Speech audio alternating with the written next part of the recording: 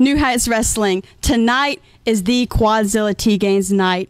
This is the women's tournament to crown the first ever women's champion here at New Heights. And I have Quad stomped my way here to defeat Ashley Mayberry, a girl who obviously is strong, powerful, but there's one big thing that she lacks and that is the quads. And I have the finest in women's wrestling today. So tonight I will advance. And spoiler alert, I'm winning it all.